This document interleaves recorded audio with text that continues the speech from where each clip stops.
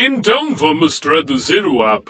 Bem fácil primeiro e você baixa esse arquivo, eu deixei o link na descrição do vídeo. Depois você entra no Xi, clica com o botão direito do mouse em cima do jogo. Vai em gerenciar, depois em explorar arquivos. Vai abrir a pasta do jogo, então vai em abrir, depois em localização.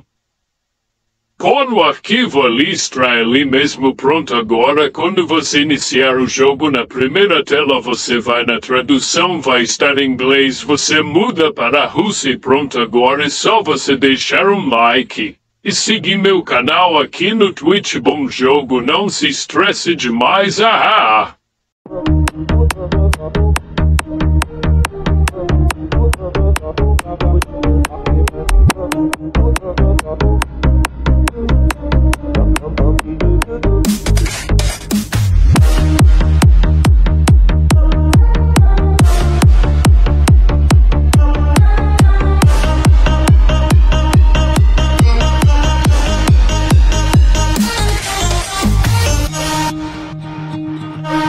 fell by the wayside, like everyone else.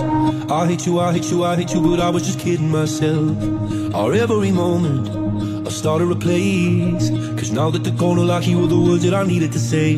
When you hurt under the surface, like troubled water running cold. Well, time can heal, but this won't. So,